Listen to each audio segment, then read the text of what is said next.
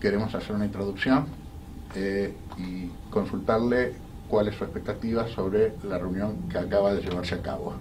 Bueno, la verdad que fue muy interesante. Eh, por un lado, la presencia de todo lo que hace al equipo del Instituto de Vivienda acá en Buenos Aires, en la Secretaría de Vivienda de la Nación, donde fuimos atendidos por sus máximas autoridades, en la cual se ha estudiado y analizado cada uno de los programas que tenemos en ejecución en sus distintos estados y etapas, como también las demandas futuras, y hemos hecho además una presentación institucional de todo lo que hace al instituto en cuanto a sus funciones, a sus misiones, a sus objetivos y a su esencia en dar soluciones habitacionales, en el cual fue bien visto,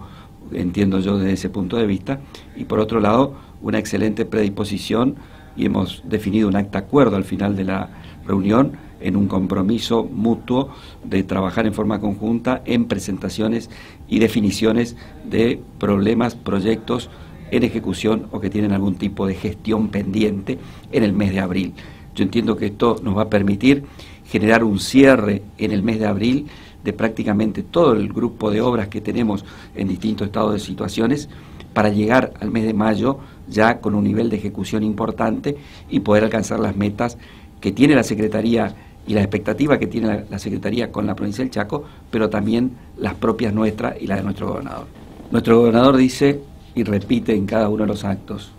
eh, debemos ser agradecidos. Y el Chaco, su gobierno y su pueblo es agradecido a la Presidenta de la República, porque la verdad que las obras que se están ejecutando en el Chaco no se podrían hacer si no tenemos el apoyo del gobierno nacional. Uno sale desde el centro de la ciudad de Resistencia hasta el pueblo más alejado o el paraje más, más alejado, nos encontramos en todo ese trayecto con acueductos, con pavimentos, con puente, con fibra óptica, con ferrocarril, con una serie de obras y que hacen directamente a la presencia del Estado Nacional, con su, por supuesto con la contrapartida y los aportes provinciales en este sentido, pero que ha generado una de las transformaciones más importantes que se llevó adelante en la provincia de Chaco en estos ocho años, en estos ocho años de gestión de la presidenta y de Néstor, por supuesto, y por supuesto en los cuatro años de nuestro gobernador Jorge Milton Capitanici. Creo que el nivel de inversión que tiene hoy la provincia del Chaco en lo que es a obras públicas, a planes, a programas, es histórico. Por eso nosotros resaltamos, reconocemos y por otro lado instamos también desde lo político a defender este modelo, porque este fue un modelo que miró al norte con otros ojos y que miró al Chaco con otros ojos y que trajo todo este, este cúmulo de obras y de inversiones, de planes y de programas que sin ninguna duda hace una reparación que tanto reclamamos y que es histórica. Por eso eh, eh, ese acompañamiento que lo sentimos en lo que es a mi persona en cuanto a vivienda y al Instituto de Vivienda, el nivel de inversión que tiene hoy previsto la provincia del Chaco para este año en vivienda también es histórico. Y eso creo que amerita una concepción de una visión de país y de eh, reparar un norte postergado, como siempre lo dijo Néstor Kirchner.